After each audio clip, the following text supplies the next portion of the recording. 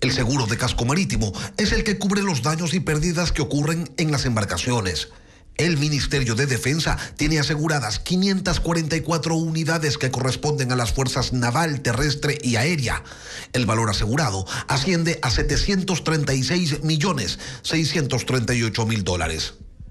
Pero hay situaciones extrañas. En septiembre del 2021 se adjudicó el aseguramiento del casco marítimo por un año a la empresa aseguradora del sur por 12 millones 690 mil dólares. Al llegar septiembre del 2022, se extendió la póliza por 60 días, por 2 millones de dólares. Y desde entonces, ese ha sido el procedimiento, no llamar a un nuevo concurso, sino prorrogar el contrato. Pero ese es quizás el menor de los problemas ya que al revisar la póliza del seguro del casco marítimo de Fuerzas Armadas se señala con claridad que la aseguradora y el reasegurador en ningún caso podrán presentar dentro de su oferta exclusiones adicionales a las establecidas a nivel internacional para cada cláusula y o tras cobertura requerida en estos pliegos considerando las actividades que desempeñan las unidades aseguradas de las Fuerzas Armadas. Y es precisamente eso lo que ocurre en el contrato de reaseguros. Hay condiciones que cambian.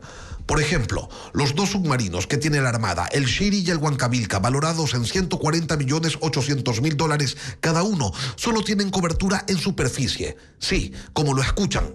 El reaseguro está condicionado a que, si los submarinos entran en funcionamiento, estos se utilicen en el mar para operaciones de superficie, solo hasta que cada submarino haya completado el próximo dique seco y que el capitán Geoff Thomas haya cumplido la respectiva inspección. Es decir, si el submarino se sumerge, que es para lo que sirve un submarino, pues pierde su reaseguro.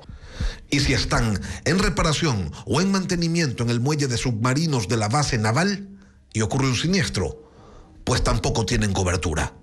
Pero no es lo único que llama la atención.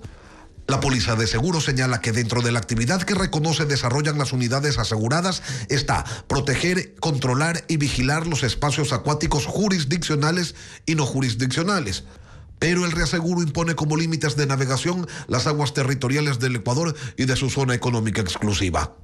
Estas diferencias entre lo que está asegurado y las condiciones que impone el reaseguro, en caso de que ocurra un siniestro, dejaría al Ministerio de Defensa sin la posibilidad de recuperar los valores de las unidades perdidas. Y pese a que esas condiciones varían generando una ilusión de cobertura, en lugar de convocar a un nuevo concurso donde se corrija aquello, se continúan extendiendo las pólizas. En una apuesta de fe, a que ojalá no pase nada. Ecuavisa intentó obtener versiones del Armada, el Ministerio de Defensa y la empresa aseguradora. Hasta el momento no hay respuesta.